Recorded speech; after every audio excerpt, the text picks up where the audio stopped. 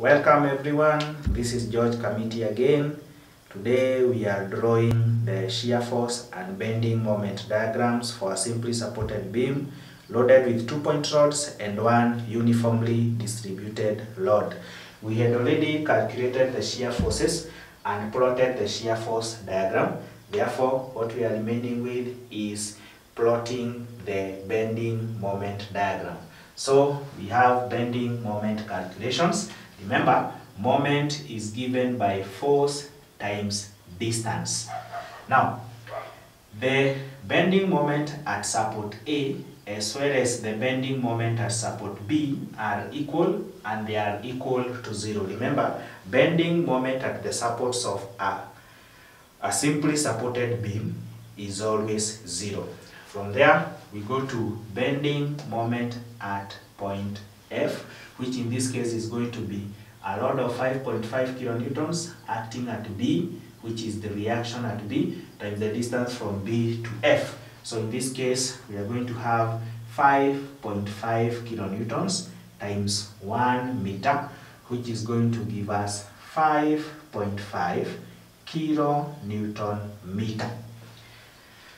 Then we have bending moment at point E.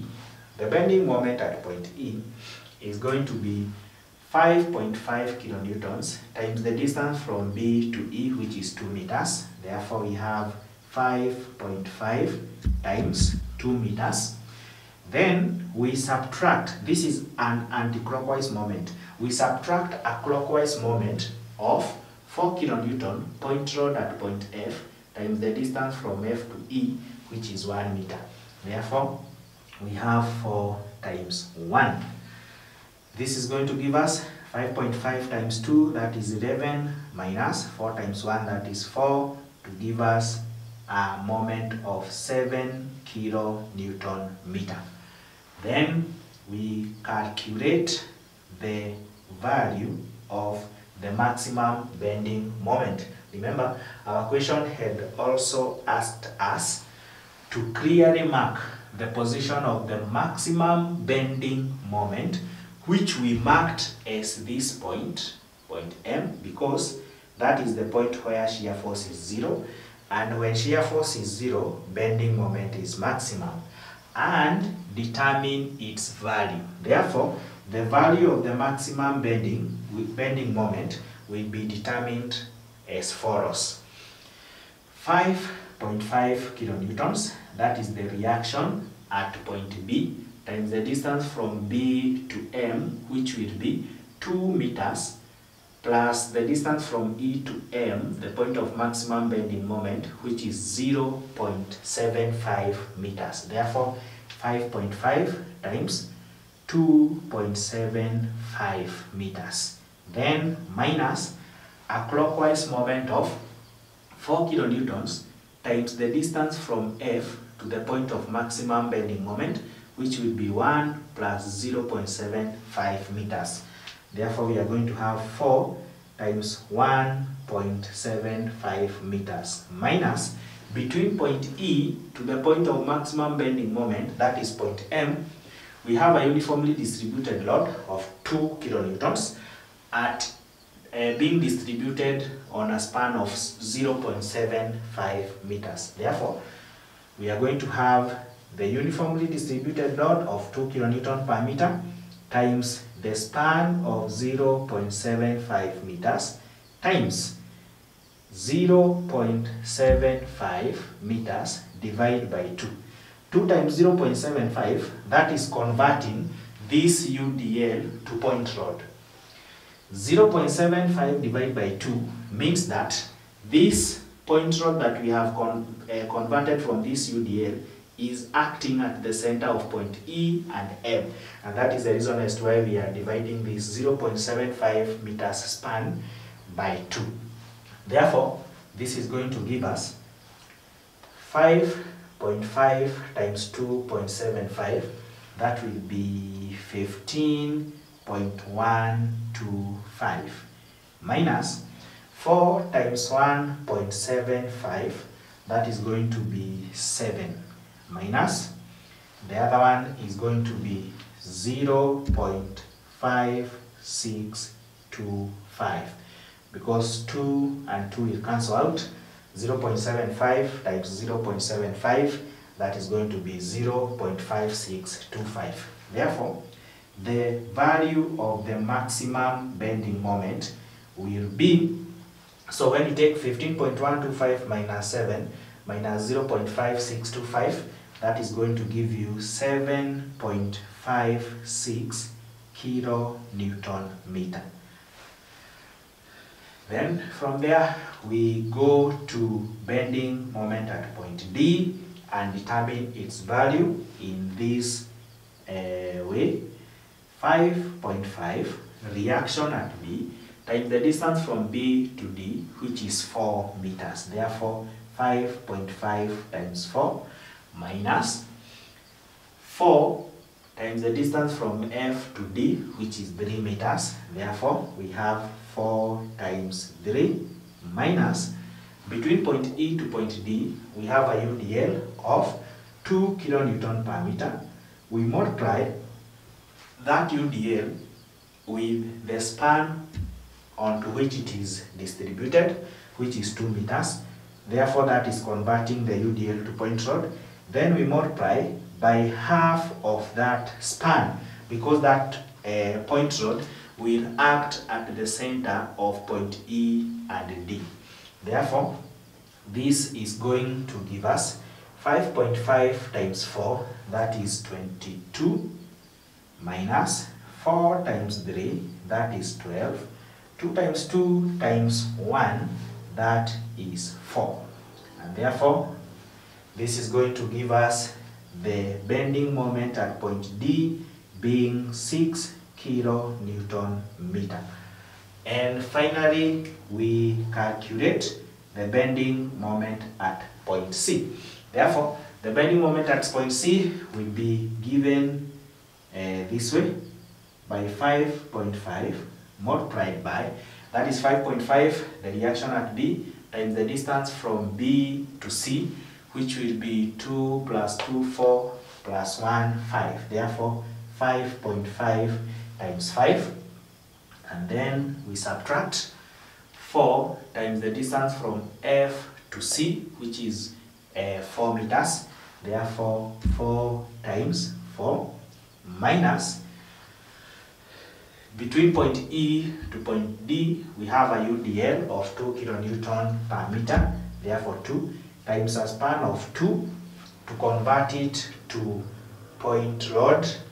Then we multiply by this point load is going to act at the center of point E and D which is a span of 2 meters divided by 2 and then we add the distance from point D to point C 1 meter. Therefore we add 1 meter.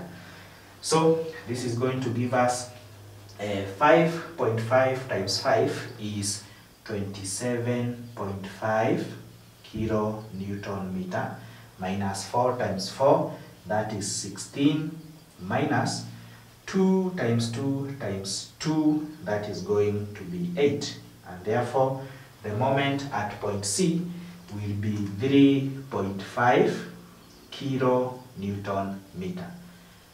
Therefore, ladies and gentlemen, after calculating all the bending moments at each and every point on this simply supported beam, we are going to use this bending moment calculations to plot the bending moment diagram.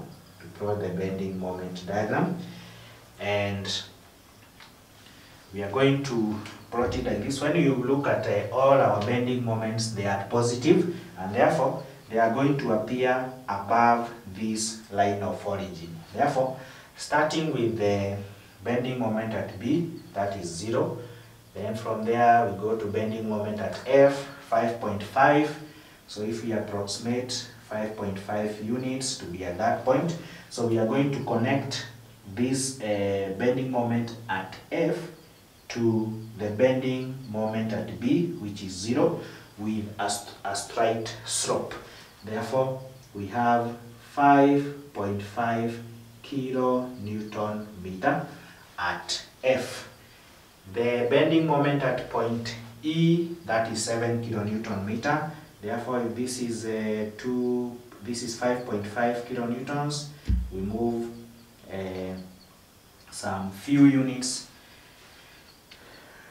approximately at that point. So we connect the bending moment at point E to the bending moment at point F with a, a slight slope as well. Therefore, that is going to be 7 kilonewton meter. Then we have the maximum bending moment, which is 7.56 kilonewton meter. So if that is 7 kilonewton, just some few uh, units above 7 of 0.56 kilonewton. Now, the between point E and point M, that section is loaded with a uniformly distributed load and therefore we are going to have a smooth curve, a smooth curve because we have a UDL at that point. Therefore, the maximum bending moment is 7.56 kilonewton meter. From there, we move to bending moment at D, which is 6 kilonewton.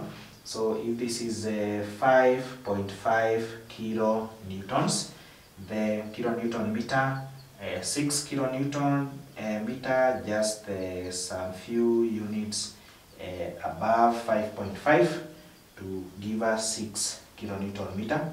Again, since between point M to point D, uh, that span is carrying a uniformly distributed load, we are going to draw a smooth curve to join the 7.56 kilonewton meter, that is the maximum bending moment, to 6 kilonewton meter at point D. Therefore, we have 6 kilonewton meter. Then from there we move to uh, the bending moment at point C, which is 3.5 kilonewton meter. So this is 5.5 or this is 0, 3.5 approximately that point. Between point D and point C, we don't have a UDL, therefore we are going to join with a smooth slope. Therefore at point uh, C, we have a bending moment of 5 kilonewton meter. And finally, the bending moment at A is 0. Again, we join with a smooth slope to have a complete bending moment diagram. Now, since all our bending moments are positive, we are going to write a positive sign inside this bending moment diagram. And then to have a clear outline of our bending moment diagram, we are going to shade off our uh, outline so that our bending moment diagram can be very clear. Then below it, we are going to write BMD denoting bending moment diagram. So ladies and gentlemen, that is how we determine the bending moments and use those bending moments to plot a bending moment diagram. Thank you for liking our video. Please subscribe, hit the notification bell and always be the first person to be notified every time we upload a new video. Thank you very much for stopping by to watch our videos.